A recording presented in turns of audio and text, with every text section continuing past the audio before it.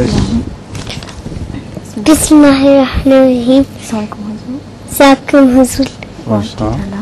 Why did Allah make pigs? Make pigs as they are sated Like you? as they're so dirty and smelly and smelly and we are not allowed to eat them? and we're not allowed to eat them?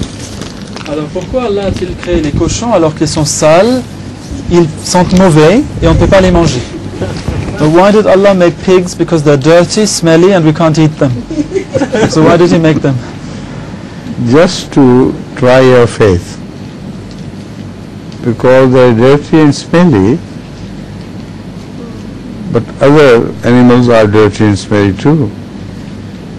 Like uh, cows, etc. Some cows and goats are very dirty and smelly.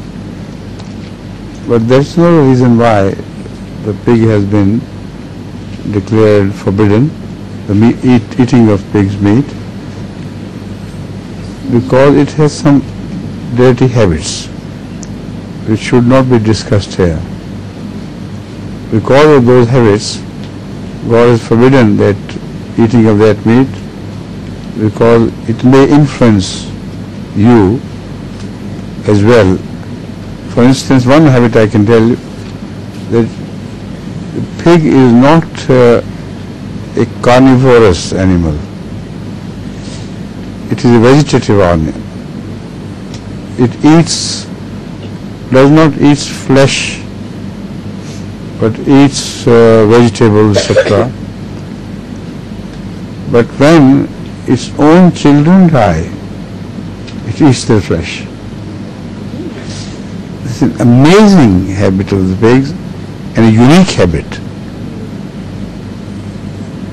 The, for instance, most ferocious lions will rather die of hunger than eat their own dead, dead little ones. Wolves, dog, anything. You consider were ferocious beasts, they would never eat their own dead little children. The pigs do. So this is one protest against this habit. Whether it goes into blood or not, but it's a protest against that habit.